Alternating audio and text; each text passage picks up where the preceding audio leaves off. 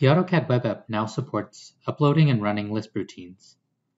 To upload a Lisp file, click the Lisp app, and then click Manage Lisp. Alternatively, run the appload command. The support file dialog box opens. Here you can upload new Lisp files. You can also choose which Lisp routines run at startup when you open a drawing. In the Lisp palette, you can load routines to the drawing or rename, download, or delete Lisp files. Run Lisp routines using, using the command line just as you would in AutoCAD Desktop.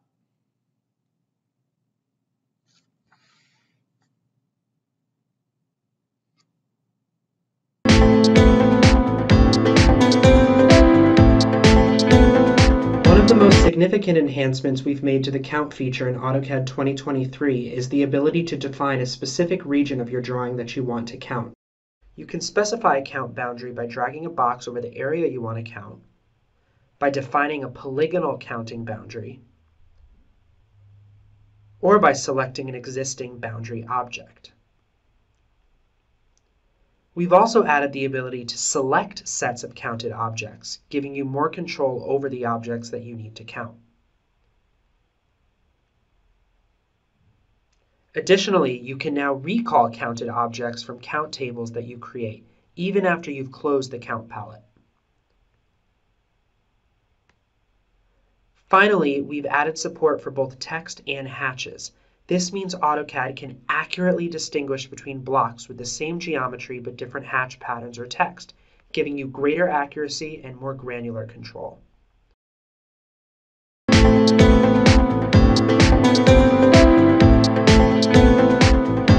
Made several exciting improvements to the floating drawing tabs capability in AutoCAD 2023. Now, when you resize a floating window, after you dock it back and pull it back out again, AutoCAD will remember the previous size you changed the window to. In addition, now the command line will dock at the bottom of the currently active floating window, and the command line will move with you as you switch between floating or docked windows.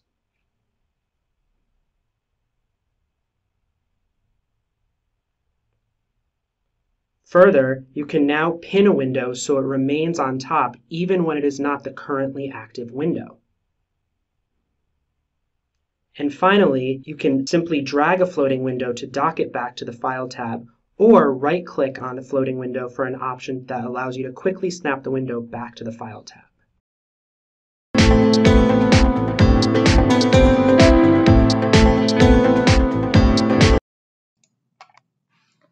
The new Markup Import and Markup Assist features allow you to take feedback from PDFs and printed drawings and import them directly into your AutoCAD DWG.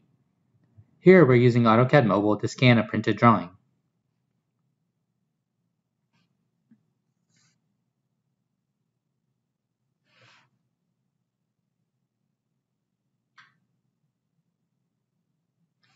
The imported feedback is brought into AutoCAD as a trace layer, you can edit the opacity as needed.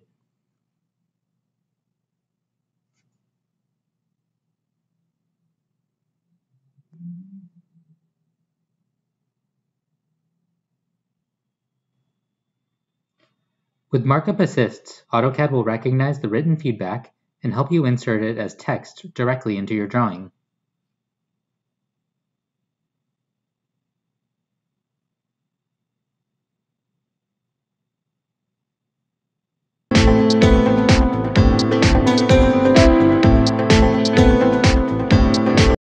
Imagine a scenario where you're laying out a plan for a restaurant and you need to add more chairs to the tables you've drawn. To do this, you would need to copy the chair and then rotate the chair as separate commands each time, as shown here. However, with the Macro Advisor feature in AutoCAD 2023, AutoCAD is able to recognize this as a frequent command sequence and then alerts you to the availability of a relevant time-saving macro, in this case a macro called Copy Rotate Previous.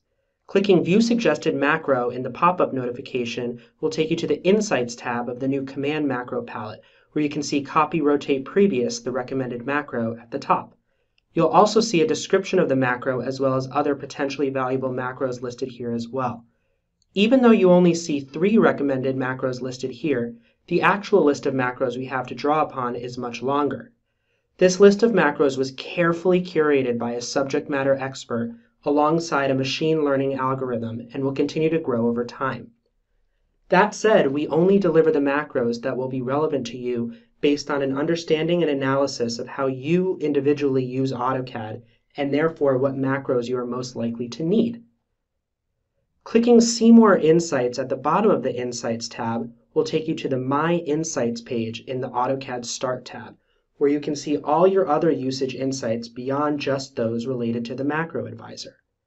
But returning to the Copy Rotate Previous macro, if you decide that it's relevant, you can save it to the Saved tab of the Command Macro palette. From the Save tab, if you want to run that macro, all you have to do is select the macro from the palette and select the chair.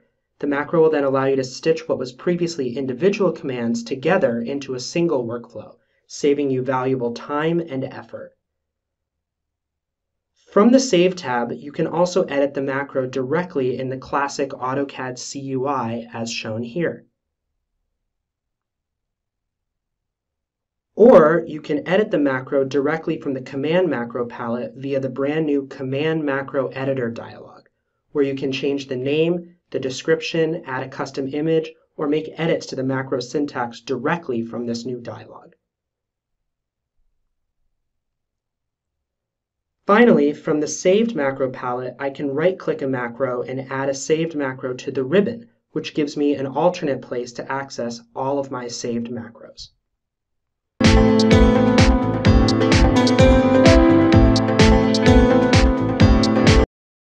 The Push to Autodesk Docs feature in AutoCAD 2022 will allow you to send PDFs from AutoCAD to BIM 360 or Autodesk Docs projects easier and faster. Under the Collaborate tab, the Push to Autodesk Docs palette can be launched. In the palette, the sheets from this drawing populate, but you can add sheets from other drawings and select only the sheets you want to send. And if this is a collection of sheets you plan to send frequently, you can save the sheet set for future use. Once you have the sheets you want to upload, you can select either a BIM 360 or Autodesk Docs project in the drop-down menu. Simply navigate to the correct project and folder and push OK. On the bottom right-hand corner, a notification will populate if there are any errors on the AutoCAD side with sending your sheets. Depending on how many sheets you are sending, it may take some time to upload. In this case, let's see if the sheets are ready by clicking the link in the palette. This link in the palette will open a browser to the correct BIM 360 or Autodesk Doc folder directly. Here, we can see it is currently being uploaded in the folder in BIM 360. This Push to Autodesk Docs feature is available in AutoCAD 2022 and available in a plugin for a few previous versions and is available today in the Autodesk App Store.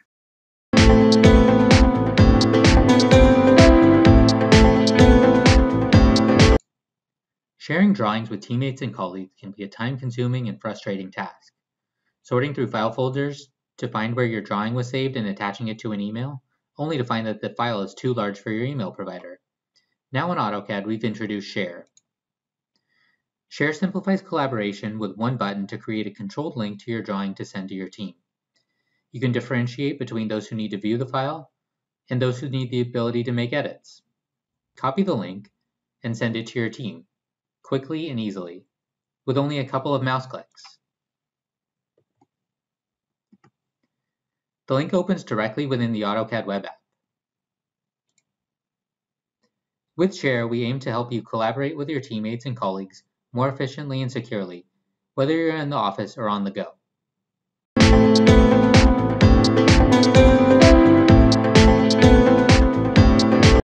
Building on the trace feature introduced last release, you can now create traces in AutoCAD Desktop in addition to the AutoCAD web and mobile apps.